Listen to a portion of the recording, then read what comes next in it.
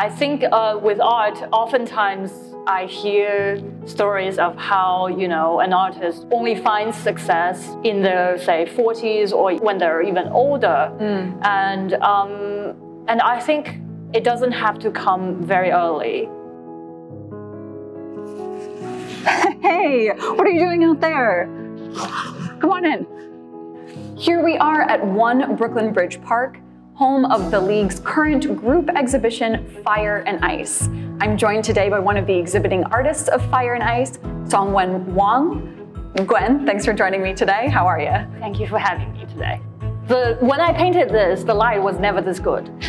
so it was, it was very nice to see my painting, you know, somewhere that I guess, you know, really makes it look good. Mm-hmm. This is cinnabar, which is the name of a historical pigment that is a color of uh, orange-ish red. And you can see, I feel like that name captures the spirit of the painting fairly well. The painting is um, oil on canvas, 36 by 36 inches. So, Gwen, you're an oil painter, a student of the Art Students League, of course. In fact, you and I are in the same class. Yes. Sometimes we see each other on Friday evenings, and it's very fun to watch each other work sometimes. Um, but today we're going to focus on your life as an artist outside of the studio. And in particular, you're not only an exhibiting artist, you also are a full time student. So, can you tell me a little bit about the degree that you're pursuing right now? Right now, I'm a second year student at Columbia School of Social Work, um, doing my Master's of Social Work degree. Social work um, itself is actually a very big field with, you know, very many different kinds of jobs inside the profession. But for me personally, I would like to be a psychotherapist. What I'm most interested in is exploring someone's journey along with them to sort of, you know, support them in their own process of healing. In a way, I sort of fell into art. Originally, I'm from China and I came to the States um, for college. And uh, after that, for a couple years, I had a lot of mental health struggles. And during that time, I discovered art as an activity that was very healing. So I came to New York to the League. Um, but after several years, I realized that for me personally, um, the life of a full-time artist is not really sustainable or healthy. That was when I started realizing that perhaps it's better for me to go on a different career path, but still do some art and try to find a balance. I guess, you know, that does afford me more time and just gives me a sense of, um, I guess you could say, almost security, because I know that if I can support myself as a social worker in the future, then I can also just take more time and develop myself as an artist more slowly.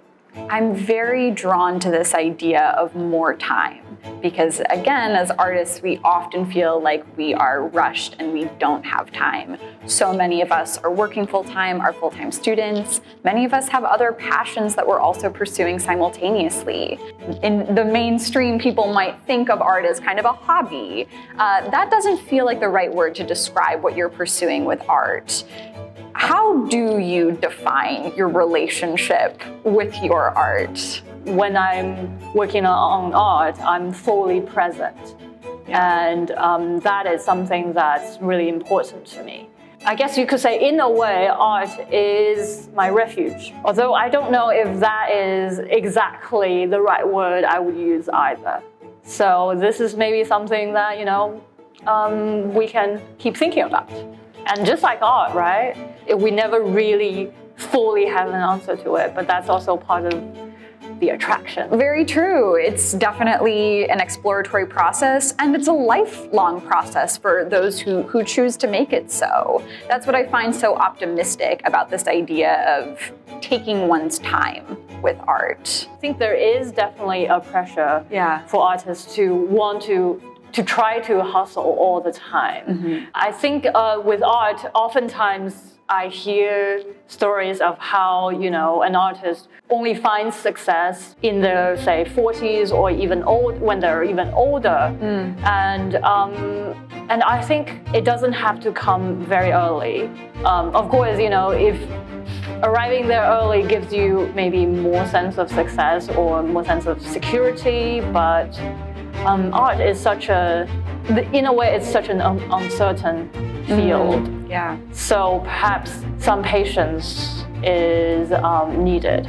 Uh, Gwen, thank you so much for your time today. And as well, congratulations on having your work in Fire and Ice. It's a pleasure showing your work, and it's been a great pleasure talking to you. Thank you so much for having me, and uh, it's really a great pleasure. And of course, thank you for showing my painting.